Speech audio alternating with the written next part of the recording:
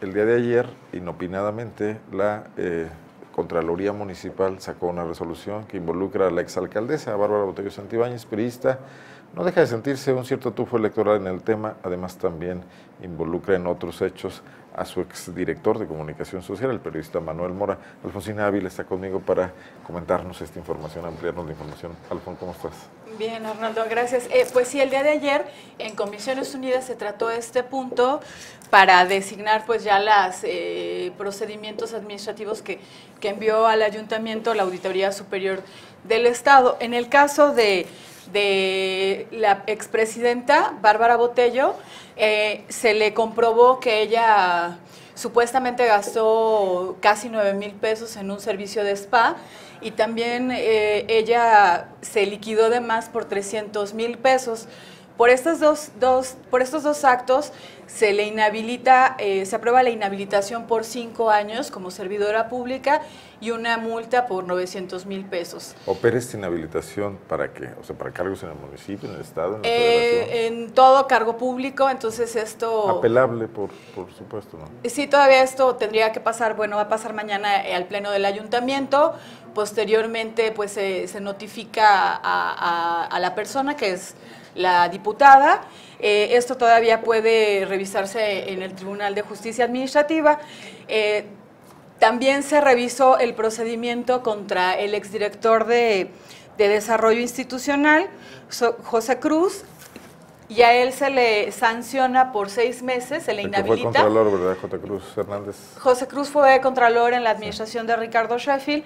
Posteriormente, cuando llega Bárbara Botello, ella, e, e, él se vuelve director de Desarrollo Institucional y es él quien le da además estos, estos 300 mil pesos de finiquito por, e, por dar esta, este aval. las Comisiones Unidas determinaron que que se le iba a sancionar por 800 mil pesos y se le inhabilita por seis meses. En el caso del exdirector de comunicación Manuel Mora, eh, la auditoría detectó que se contrató eh, por varias ocasiones a una empresa que se llama Mango Multimedia. Eh, esta empresa recibió contratos por 2.5 millones de pesos. ¿A qué se dedica esta empresa? Esta empresa se supone que hace encuestas em, y hace otro tipo de...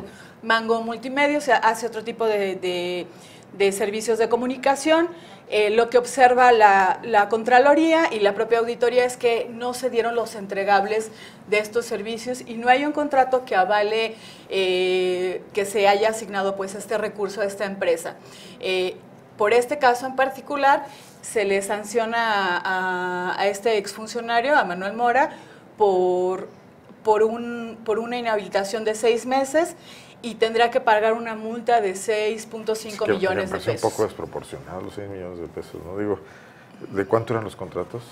Eh, los contratos en total fueron de 2.5 millones, eh, fueron diferentes contratos, eh, lo que se comenta, ellos hacen una relación del, del sueldo que percibió durante la administración como funcionario de primer orden y hacen un cálculo por lo que ellos determinan que tiene esta sanción económica de 6 ah, ah. millones,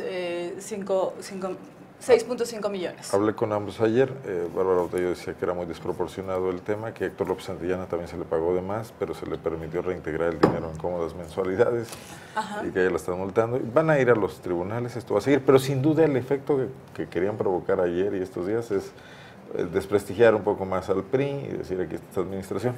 Sí, justo estas, estas eh, creo, que sanciones eh, vienen A, días de que ya pues sea la jornada electoral y bueno, Bárbara ya no es candidata, no tiene ningún puesto popular, pero sí ella mandó una, una postura en donde indica que ha sido como una persecución política en todo momento y que es una forma de tapar las irregularidades de López Santillana en su gestión que Bárbara Botello se defiende en los tribunales, que pruebe lo que pueda probar, está bien. El PAN como que sí le mete jiribilla electoral y un chanfle ahí al sacarlo en, los, en el penúltimo día de campañas.